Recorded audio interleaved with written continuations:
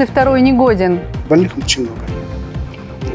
Очень много, если мы раньше по, с астмой призывали, то теперь мы с, бронхиальной вообще не призываем. 52 статья, кроме категории В, ничего не предусматривает. Так что идет немножко, чуть рост э, заболеваемости. Стартовала призывная кампания. В армию должны отправить 195 ангарчан. Автопоезд здоровья. В Иркутске открылась выставка медицинской техники. Посетители могут пройти обследование. Мигет преображается. Не только сам Мигет, но и по ЗУ идет, работа идет по освещению по отдаленным территориям. Мэр округа проверил, как идет благоустройство в поселке. И достижения в строительстве. Это единственное в России предприятие, которое использует э, золото-шлаковую смесь в качестве кремезевистого компонента. Поэтому мы этим гордимся. Ангарский завод автоклавного газобетона выпустил миллионный кубометр высококачественного сырья. Служба новостей телеканала «Актис» начинает работу в эфире в студии Елена Жерлова. Здравствуйте. В Ангарске стартовала осенняя призывная кампания. Медицинскую комиссию прошли уже около 200 человек. Больше половины из них признаны либо негодными к службе, либо имеют ограничения по здоровью. А тем временем призвать в ряды российской армии должны 195 новобранцев. Найдется ли столько здоровых молодых парней в Ангарске, узнавала Ирина Шавлюк. Ангарчане торопятся отдать долг родине. Призывная кампания стартовала всего неделю назад, а военный комиссариат уже оккупировали желающие попасть в ряды российской армии. Идут даже те, кто еще не получал повестки, рассказывает военный комиссар Вячеслав Петряев. Перед Ангарском в осенний призыв стоит задача подготовить как минимум 195 человек. 170 на сегодняшний день уже прошли медицинскую комиссию. Часть ребят признаны негодными к прохождению военной службы или отправлены на дополнительные дополнительное медицинское обследование. Родине нужны здоровые солдаты, а таких с каждым годом становится только меньше. В основном-то, ну, я так скажу, что средняя. Вот за весну у нас э, э показатель годности, это категория А и Б, это 53,3%. Это очень низкий показатель. Не знаю, как будет э, осенью, но, скорее всего, то же самое будет, потому что больных очень много. Очень много, если мы раньше по, с астмой призывали, то теперь мы с, бронхиальной вообще не призываем. 52 статья, кроме категории В, ничего не предусматривает. Так что идет немножко, чуть рост э, заболеваемости. Несмотря на то, что сознательных парней становится больше, уклонистов все равно хватает, а меры наказания за нежелание служить в армии с каждым годом ужесточается. Чаще всего суд назначает штраф, но есть и более радикальная мера – уголовная ответственность. На двух человек по весенней кампании направлены материалы в суд материалы Следственный комитет уже отработаны и направляются в суд. По осенней кампании прошлого года у нас 6 человек осуждены за уклонение.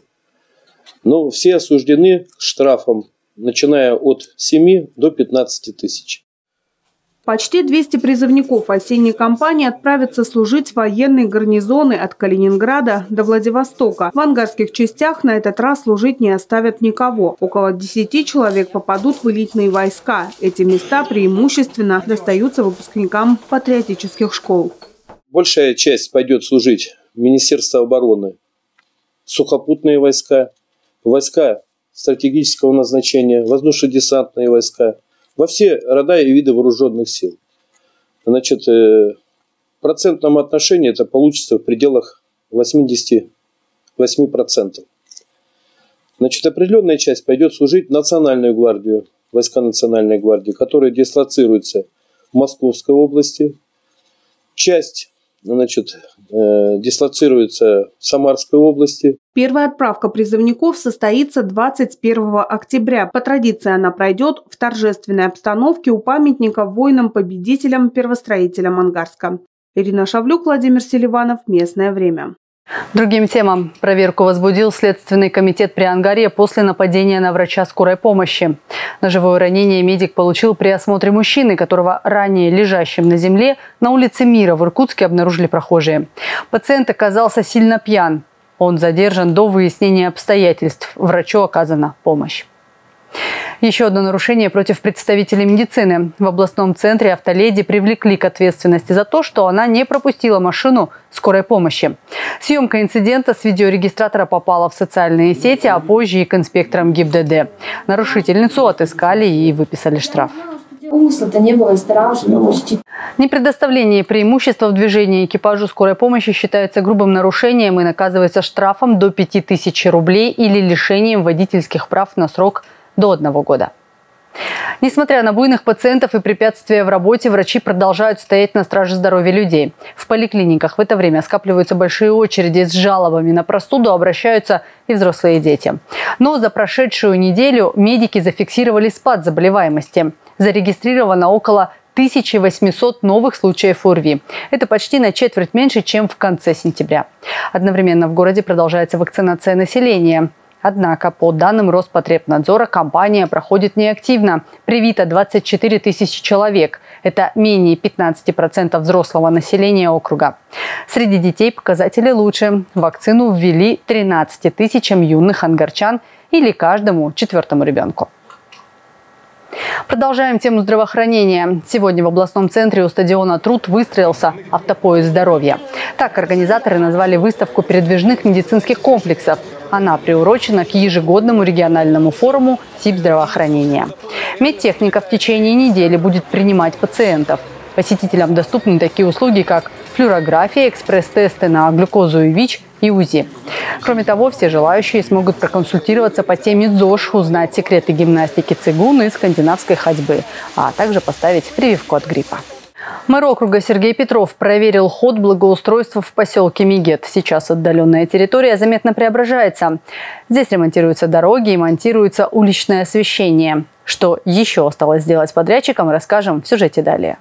За четыре года накопились многочисленные нарекания от автолюбителей по качеству федеральной дороги, проходящей через Мегет. Сейчас здесь кипит работа. Общая протяженность дорожного полотна, которое отремонтируют в этом году, 3,5 километра. Справляется ли подрядчик? Мэр округа Сергей Петров проверил лично. Дороги выполняются в два слоя, то есть местами у нас идет грунтозамещение. А, первый постилающий слой и у нас порядка 6-8 сантиметров, и финишный слой дорожного полотна порядка 8 сантиметров. Перепад высот у нас а, дорожное полотно от 11 сантиметров и выше. По словам руководителя подрядной организации, процесс выполнен на 70%. В ближайшее время строители приступят к нанесению разметки и установке дорожных знаков. Также будут оборудованы 5 остановочных павильонов. На какой стадии находитесь в части исполнения контракта? Исполнение контракта выполнено в полном объеме.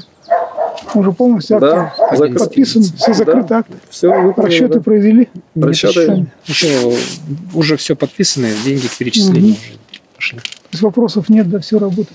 На 40 улицах Мегета сегодня по ночам светло, как днем. На выездном совещании подрядчики доложили мэру округа, что за время ремонта было смонтировано 18 километров линии наружного освещения. Установлено 57 опор. До конца года в Мегете планируется дать свет еще на 10 улицах поселка. Не только сам Мегет, но и по ЗУ идет, работы идут по освещению по отдаленным территориям. Ну и дорожное строительство тоже, э, так же как и в Мегет пришли рекордные ресурсы на дорожное строительство. И практически реконструирована дорога э, подъездная от Шарон до Мегета, 3,5 километра. Стоимость выполненных работ свыше 58 миллионов рублей. Это рекордная сумма, потраченная на благоустройство отдаленной территории. Мария Константинова, Алексей Выборов. Местное время. К другим темам. Паспорт для квадрокоптера. До 27 октября владельцы беспилотников должны их зарегистрировать. Требование касается аппаратов массой более 250 граммов. Для легких дронов до 30 килограмм достаточно предоставить Росавиацию фотографию устройства, технические характеристики, а также сведения о владельце. Для аппаратов потяжелее предусмотрена отдельная процедура. Собственникам таких птичек придется оформлять их в собственность. После завершения процедуры регистрации владельцу коптера выдадут учетный номер, который в течение 10 дней нужно нанести на сам летательный аппарат. Если сроки затянуть, владельцев ждут штрафы от 2 до 80 тысяч рублей. Ангарский завод по производству автоклавного газобетона выпустил миллионный кубометр продукции. Предприятие «Заустройкомплекс» широко известно в более чем 40 городах страны от Сибири до Дальнего Востока, а также и на зарубежных рынках. Ангарским газобетоном также выстроены тысячи частных домов, десятки высотных зданий и социально значимых объектов в округе. На торжественной церемонии выпуска побывала и моя коллега Мария Константинова. Выпуск миллионного кубометра автоклавного газобетона для строителей Ангарска – это значимое достижение. Если оглянуться назад, почти 10 лет прошло с запуска производства. Тогда 120 человек получили рабочие места. Сегодня предприятие комплекса успешно развивается, а его продукция высоко востребована на рынке стройиндустрии. Хорошо реализованная идея, хорошо сделанное дело. Действительно, в 2008 году мы в Германии подписывали контракт на поставку оборудования. И вот с этой даты, с апреля, это, э, в общем-то, проект вошел в стадию реализации. И сегодня э, молодые ребята, в общем-то, работают на заводе. Мы видим это молодежь, практически вся профессионально, с интересом к своему делу относятся. И вот то качество продукта, который вошел в 100 лучших товаров России – это же индикатор. Действительно, сегодня один из флагманов стройиндустрии. Предприятие сегодня – это современное технологическое производство, которое выпускает высококачественный продукт. Автоклавный газобетон ангарского производства – это прочность и идеальная геометрия. Мощность завода – 200 тысяч кубических метров высококачественного материала, которого хватит на полмиллиона квадратных метров готового жилья. Я непосредственно заведую приготовлением э, смеси, что потом из чего получается блок прирезки. То есть э, я, так сказать, начальное звено производства газобетона. За процессом необходимо следить постоянно. Производство не прерывается ни на секунду. В 2018 году ангарский автоклавный газобетон получил оценку качества всероссийского уровня. Продукция вошла в рейтинг 100 лучших товаров России. Нужно отметить еще, что э, технология завода которая используется у нас, она, э, ну, насколько я знаю, это единственное в России предприятие, которое использует э, золото-шлаковую смесь в качестве кремезевистого компонента. Поэтому мы этим гордимся. И мы первые в России, кто это внедрил и успешно внедрил. Потому что миллионный куб – это, скажем так, результат этой деятельности. Строительство – это та отрасль, которая является важным показателем благополучия и экономической стабильности территории. Завод широко известен за пределами округа. Его продукция востребована в 40 городах Сибири и Дальнего Востока, а также за рубежом. Мария Константинова, Дмитрий Новопашин. Местное время новостям спорта. В День пожилого человека в Ангарске провели турнир по бильярду. Среди участников были люди весьма преклонного возраста. Самому старшему спортсмену 82 года. Он, к слову, вошел в тройку лидеров. 9 ноября ангарчане снова смогут скрестить кии. Соревнования посвятят Дню работников органов внутренних дел. А тем временем продолжается регулярный чемпионат по хоккею среди команд ВХЛ. И, увы, Ермак не радует болельщиков результативной игрой. В минувшую субботу ангарские хоккеисты потерпели очередное поражение от команды «Химик» из Воскресенска. Первый период закончился в ничью 1-1. Во втором отрезке «Химики» провели три результативных атаки, на что ангарчане ответили лишь одним точным броском. В заключительном периоде хозяева закинули пятую шайбу в ворота голкипера Ермака. В понедельник вечером оранжевая дружина сыграет в Ташкенте с местным «Хумо». И такова картина дня. Все новости доступны также в интернете на сайте actistv.ru и на нашей страничке в Инстаграм. Всего вам доброго и до встречи!